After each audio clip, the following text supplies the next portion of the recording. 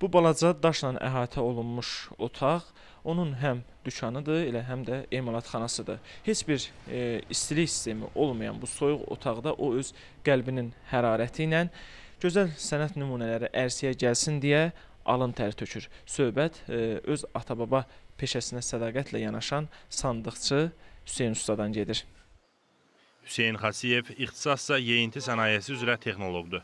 Amma artıq 16 ildir ki, sandıqçılıqla, yəni babasının və atasının sənəti ilə eyni zamanda proqrafiya ilə məşğul olur. Əl əməyi ilə ərsəyə gətirdiyi sənət inciləri ziyarətçilərinin də marağına səbəb olur. Özü də Hüseyn ustanın dediyinə görə daha çox xarici ölkələrdən Şəkiyə təşrif buyuran turistlər bu qiymətli əl işlərinə dəyər verirlər. Müştəri azlığından gileylənməyən sənətkar iddia edir ki, onun hazırladığı sandıqların dünyada analoqu yoxdur. Bəs onun əl işlərini analoqsuz edən nədir? Hə, bax bu suala usta özü cavab verəcək. Azərbaycan sandıqlarında kraska olub. Biz bunu döymə ilə sintez eləmişik. Sandıqçılıq Azərbaycanda var, çox geniş yayılıb. Qazaxstanda da var. Orada bugünkü gündə də gəlinlər öz evlərini sandığa aparırlar. Yalnız Azərbaycandadır, bir də dünyada analıq yoxdur. Bizim gördüyümüz işin. Döymə.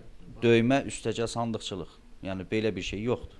Yerli əhalinin də marağı var, əcnəbi vətəndaşların da. Proqrafiya sənəti ilə də məşğul olan Hüseyn usta taxta üzərində yandırma üsulu ilə naxış açaraq bu gözəl sənət incilərini ərsəyə gətirib. Piroqrafiya sənəti ağac üzərində yandırmadır. 16-cı əsrdə yaranmış sənətdir. Ən çox e, ruslardan keçmədir, Azərbaycanda da işlənir. Biraz rəssamlıq, biraz da işləyən adamın fantaziyası lazımdır. Hər ağacı işlədib yandırma eləyə bilməzsən. Qoz ağacında məsəl heç cürə yandırma alınmaz, fıstıqda yenə elə. Əsas şam ağacıdır. Bunun üzərində yandırma eləyirəm. Bir də ki, əsas tarixi şəxsiyyətlərin portretləridir.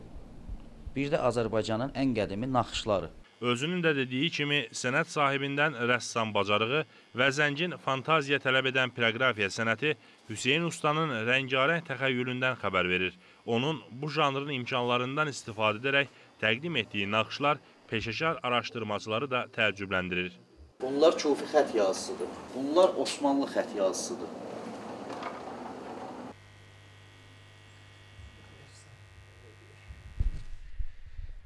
Belə yoxladım və bir daha tam əmin oldum ki, e, bu iş mənlik deyil.